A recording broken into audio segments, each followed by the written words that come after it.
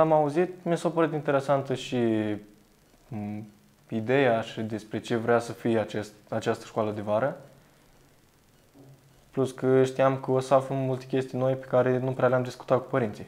Acumularea cât, a cât ori mai multe informații, pentru că este foarte important pentru noi acest subiect care este tabu, pentru că părinții nu pot discuta în larg și să explice atât de bine.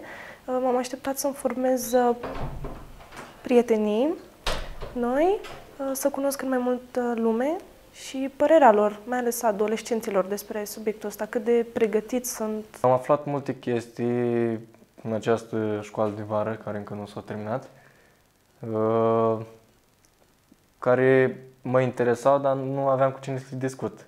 De la școala de vară am avut, uh, în primul rând am vrut să aflu foarte multe despre sexualitate, adică în România este un subiect foarte tabu, adică mi-a fost greu și mie pentru prima oară când am vorbit cu părinții mei, de exemplu, dar aici vorbim liber, Păi despre școala de vară am aflat de la liceu și am fost interesat despre această temă. Este o experiență foarte frumoasă, adică informarea și modul cum aflu noi informații prin um, joculețele acestea.